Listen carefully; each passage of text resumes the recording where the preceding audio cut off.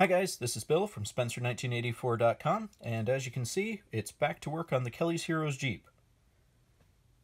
Now, I've had a few people ask me about how I do weathering on my models, so this video is going to be a little bit of a demonstration on the two techniques that I primarily use. Uh, we'll call them the cheap method and the not quite as cheap method. And we'll start out with the cheap method, which for that I need an egg carton, Got some pastels. These are available at pretty much any art supply store. Uh, it's a dollar or two dollars for a package of them.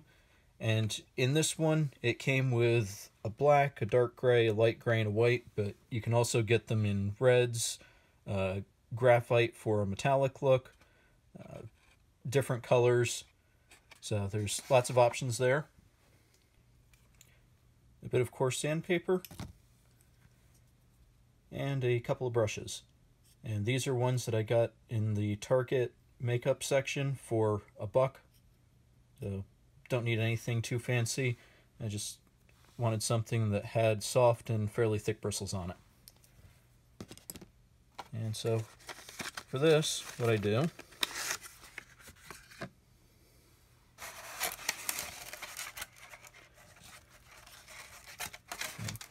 you can see where I've already done some sanding, and this is obviously a really old egg carton, but has served very well over the years.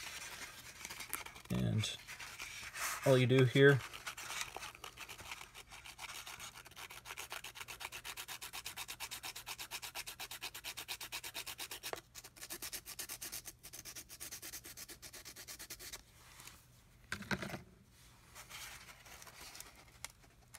and you can see in there you get your powder.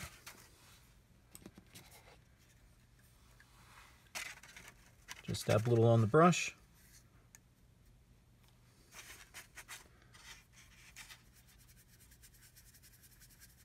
And you smear it around.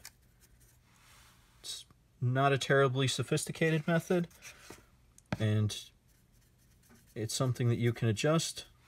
So there I've darkened it back up using a little black but it's nice in that you can get a pretty realistic pattern with it because the way that it drops, it lays like real dust because that's what it is. And don't limit yourself to what you think is the right color. Uh, you know, brown, gray. Mix it up a little bit. Uh, I've got some blues, some reds, and some browns, mixing them all together, you end up with the most realistic combination to give you something like that.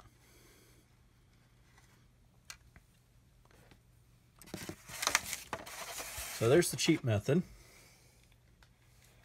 And the less cheap method that I like to use is the Tamiya Weathering Masters. And they're arranged alphabetically. They do have more than just these four, but these four are the ones that I use most regularly. Uh, A is sand, light sand, and mud. B is snow, soot, and rust. C is orange, rust, gunmetal, and silver. And D, which is particularly useful for exhaust pipes, burnt blue, burnt red, and oil stain.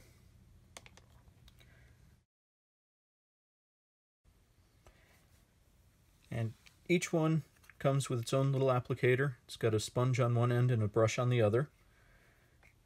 And to use those, you just get a little bit on the brush. And you kind of work it like you're dry brushing, where you try to get it a little heavier in one spot and feather it from there. And it builds up slow enough that you can get some good results because it doesn't go on really heavy all at once. And this is also really good for edge highlighting. So if you want to just bring out some of the detail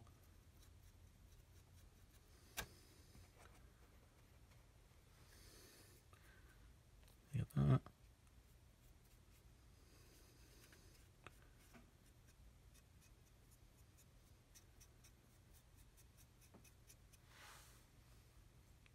You go. As you can see, doesn't build up really quickly.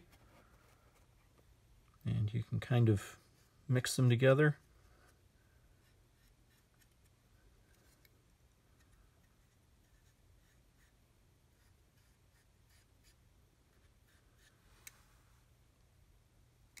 But you get some nice highlights there.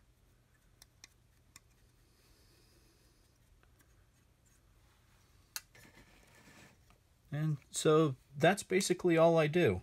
Uh, there's not really a formula for how much or how little should be added. I just keep doing it until it looks right. I try to add less than I think I will because you can always add more and it's a little harder to take it off once you've added too much. But as you saw with the uh, powders, you can go back and kind of counter some of what you've done if you think it's a little too stark.